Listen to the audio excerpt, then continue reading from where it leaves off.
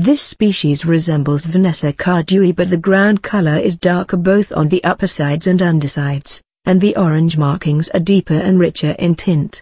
It also differs as follows, underside forewing. The ochraceous orange-red on disc, and across cell proportionately of less extent, and uniform, not getting paler towards the apex of the cell. The upper four spots of the preapical transverse series on the black apical area minute. It is about 5 inches, 13 centimeters, in length. Hindwing, the postdiscal transverse band much narrower and shorter, not extending below vein 1, margined inwardly by a series of broad black subcrescentic marks. The tornal angle with a small patch of violet scales bordered inwardly by a short black transverse line. Underside very much darker than in V. Cardui. The orange-red on the disc and in the cell on the forewing restrictors is on the upper side, three small transversely placed blue spots beyond the cell.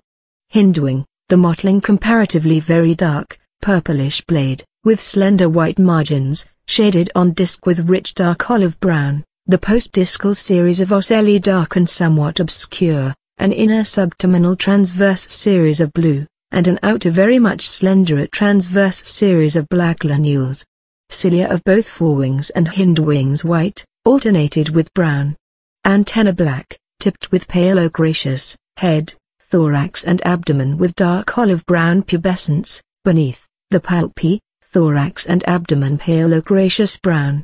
The Vanessa indica is not reported as a pest on any crop but on ramie it causes considerable damage by feeding on young tender leaves which affect the growth of the plant. The larvae of this insect feed on tender young leaves as shown in the picture.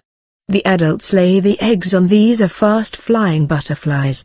Mainly found in open areas near the river in the mountainous jungle, they are also often seen on grass near roads or in the soil around the plant flowers sucking, honey, or they sitting on the ground basking in the sun. 3. Both male and female Indian red admiral can be seen around the hill nettle plant species.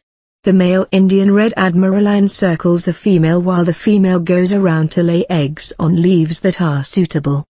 The male butterflies are territorial and they choose the places best suitable for mating. After selecting they fly around the place keeping a watch on the movements of the female. The males are generally aggressive and often seen fighting with other males. They show acrobatic techniques to attract the female's attention. Tender leaves in which larvae emerge and feeds on young tender leaves preferably at neck region of the leaves, due to this leaves look like the hanging-like position and later get dry. The caterpillar feeds on young leaves and later fold the leaves in such a way that both the margins are attached by a silky web and pupation takes place inside the folded leaf. Later the adult emerges as a butterfly.